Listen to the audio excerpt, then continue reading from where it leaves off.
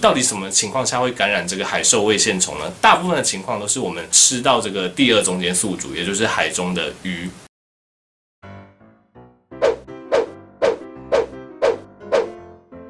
Hello，大家好，我是长哥。今天呢，也是跟大家分享我们寄生虫学里面还蛮重要的一只虫。这只虫其实大家之前在一些新闻报道上面可能也会看到啦。对，它叫做海兽胃线虫。那海兽胃线虫顾名思义，它是寄生在这个海洋里面的生物。对，那每一只寄生虫都有它的生活史，我就先简单介绍一下。首先呢，这个海兽胃仙虫呢，它有一个第一中间宿主。这个第一中间宿主呢，是海洋中的甲壳类，就是像海洋中的虾、蟹啊等等的。那这个虾蟹，它会被第二中间宿主给吃掉，进而感染第二中间宿主。第二中间宿主就是海洋中的鱼类，或者是一些洄游性的鱼类，比较有名的像鳕鱼啊、鲑鱼啊、白带鱼啊、尾鱼啊，还有那个乌贼等等的。对，那最终的第二中间宿主就会被它的最终宿主叫做海洋中的哺乳类，像海豚、海象、海狮。海豹之类的吃掉，对，然后这些寄生虫就会在这些哺乳类的体内产卵，那产卵之后，它的卵又被又回去给第一中间宿主，就是甲壳类这些吃掉，就完完成一个生活史这样子，对。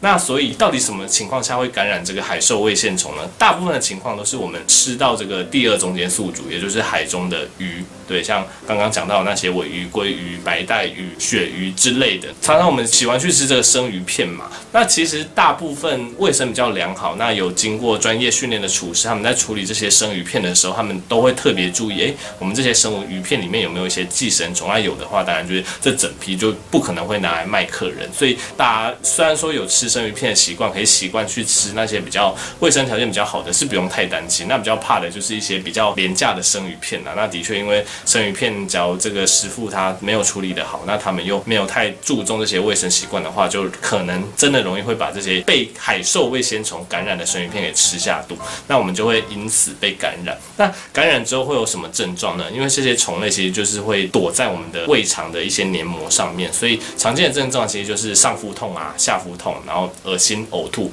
甚至是拉肚子、结血便等等。那它有一个比较特别一点的症状，就是这些虫体它有可能就是入侵我们的组织，那会引起我们的过敏反应，所以有可能说，哎，你被这个海兽胃线虫感染，然后反而开始有一些荨麻疹啊，然后皮肤痒的状况。对，不过其实。整体来讲，台湾的盛行率并没有那么高，所以并不是说你觉得你自己有过敏的人都怀疑自己被感染这个虫类啦，是不需要这么担心。对，那诊断的方法其实也很简单，就是我们会用胃镜，然后去看一下你胃壁里面有没有这些虫。那通常有看到，直接夹起来。大部分的胃痛就会痊愈了，对，所以基本上就是跟大家稍微简单介绍一下这个海兽胃线虫啊。再强调一次，其实大家不用太担心，只要你去吃生鱼片什么的东西的话，你只要挑好，哎，这个卫生条件比较好的餐厅，基本上他们的厨师都会有注意这些卫生上面的问题，大家就不用太担心这样子。好，那么这次就先这样走，就跟大家补充这个冷知识，大家拜拜。